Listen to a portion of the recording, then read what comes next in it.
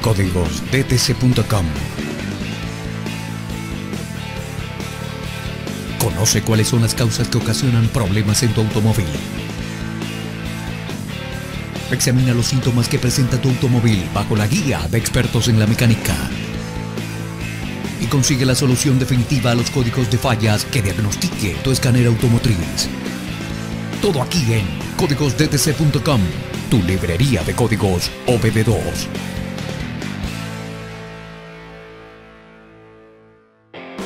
P2413, rendimiento del sistema de recirculación de gases de escape. Sistema, emisión auxiliar. La configuración del código P2413 da a entender que el módulo de control del tren de potencia ha encontrado un mal funcionamiento en el sistema de recirculación de gases de escape, EGR. El sistema EGR está diseñado para la reducción del óxido de nitrógeno en el escape del motor. Este sistema tiene una válvula que es controlada de manera electrónica por medio de una señal de voltaje desde el PCM. Esta señal le indica el momento en que la válvula debe abrirse, permitiendo así que parte de los gases de escape retornen al sistema de inducción del motor, lugar donde se queman los vapores de óxidos de nitrógeno excesivos. La válvula del sistema EGR utiliza un solenoide de control electrónico para desviar el vacío de admisión a la válvula. Quien ordena el solenoide es el PCM, para permitir que el vacío pase y llegue a la válvula del EGR. Para lograr esto, abre la válvula al grado deseado. Cuando el PCM ordena que se abra la válvula del EGR y no observa el grado de cambio esperado, se almacena este código. Síntomas del código de falla P2413. Se enciende la luz Check Engine. Menor rendimiento del combustible se almacenan otros códigos del sistema EGR. Causas del código P2413.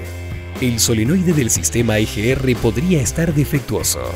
Quizás el sensor de presión absoluta del múltiple, MAP, o el sensor de temperatura de aire del múltiple, MAT, tienen daños. La válvula del EGR podría estar en mal estado.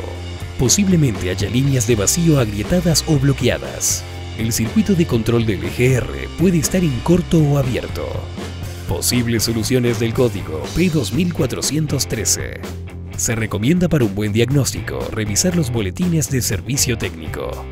Inspecciona todos los cables y conectores que guardan relación con el sistema. Si uno de estos presenta deficiencias que puedan causar un circuito abierto o en corto, procede a reparar o cambiar dichos componentes.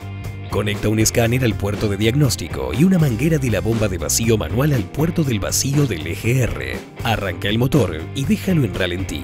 Y observa los datos necesarios que muestra el escáner mientras accionas lentamente la bomba de vacío. Debes observar un bloqueo del motor debido a la activación excesiva del EGR en ralentí. Si el motor no se detiene cuando la bomba de vacío está presionada, posiblemente la válvula del EGR está defectuosa o hay obstrucciones en los pasos del EGR. Limpia los pasos del sistema y comprueba el buen estado de la válvula del EGR. Cambia si lo. Si la válvula del sistema EGR de tu vehículo es lineal, debes accionarla con el escáner y probar la resistencia de la misma con un debond. Si los valores de la válvula obtenidos están dentro de las especificaciones, realiza pruebas de continuidad y resistencia en el circuito asociado. Repara según sea necesario. Suscríbete para recibir información actualizada de nuestra librería de códigos DTC. Si tienes alguna duda o sugerencia, déjanos su comentario. Para más información ingresa en códigosdtc.com.